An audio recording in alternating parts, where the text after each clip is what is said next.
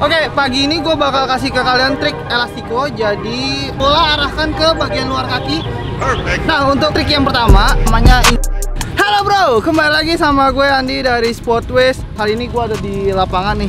Saatnya gue buat ngasih trik ke kalian eh, biar kalian makin canggih. Dan kalian jangan lupa subscribe, like, comment, and share channel YouTube dari Sportways. Nah, untuk kali ini gue bakal kasih ke kalian tips gimana cara melewati lawan dengan elastiko. Nah, kalau kalian pengen tahu elastiko seperti apa, kalian harus pantengin videonya sampai dengan selesai. Oke, pagi ini gue bakal kasih ke kalian trik elastiko. Jadi, trik ini biasa digunakan sama pemain-pemain Brazil. Tapi banyak juga pemain-pemain futsal. Trik ini banyak digunakan dan banyak berhasil. Ada juga yang banyak yang fail juga.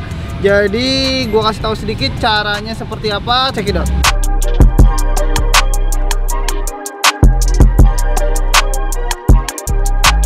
Untuk trik yang pertama namanya inside out. Jadi posisi kaki gua buang dulu keluar, habis itu gua masukin ke dalam. Jadi menggunakan kaki luar lalu ditutup dengan bagian dalam. Jadi kalau kalian bingung dan penasaran langsung aja kita praktekkan. Nah, untuk tips yang pertama, bola arahkan ke bagian luar kaki seperti ini, seperti ini. Tapi jangan terlalu jauh, uh, usahakan dekat dengan kaki karena bakal uh, dengan cepat kalian tutup dengan bagian dalam. Jadi seperti ini. Itu tadi uh, sedikit prakteknya. Jadi buang dulu kalau ya keluar dengan menggunakan kaki bagian luar, uh, lalu baru ditekuk dengan kaki bagian dalam. Jadi langsung aja kita praktek.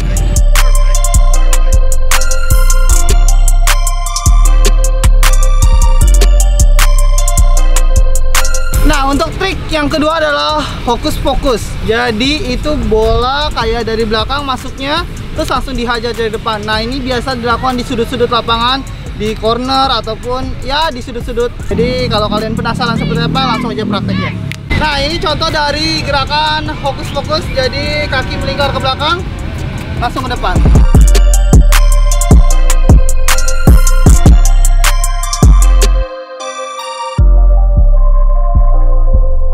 Nah, untuk trik yang ketiga adalah elastiko chop.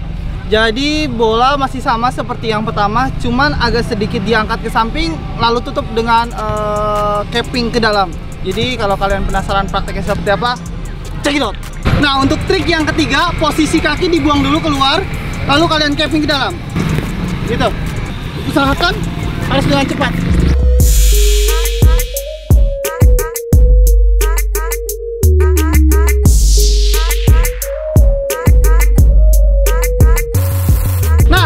Gua kasih tiga trik yang bisa kalian gunakan saat kalian bermain sepak bola ataupun futsal juga. Dan ini dilakukan harus dengan gerakan yang cepat dan memang sudah ini trik apalan kalian. Jadi kalau bisa latih di rumah dengan lawan anggaplah batu ataupun jadi kalian bisa latih. Nah, uh, itu juga bisa jadi trik kalian saat melewati lawan. Semoga berhasil dan sering-sering uh, dilatih biar nggak fail. Oke, okay, uh, sebelumnya mungkin kalian lihat ada yang beda dari diri gue. Gimana menurut kalian tampilan rambut gue? Kayak ini kan ketumpahan kembang jambu. Jadi gimana menurut kalian penampilan gue? Biar kalian juga nggak bete-bete banget. Udah gue jelek, tambah jelek lagi apa gimana? Sekian video gue kali ini. Uh, trik yang tadi gue kasih, kalau bisa kalian latih di rumah. Udah gitu kalian bisa sparring partner juga.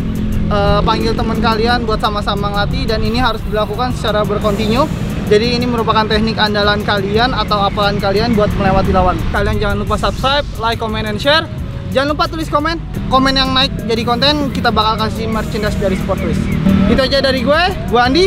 See ya!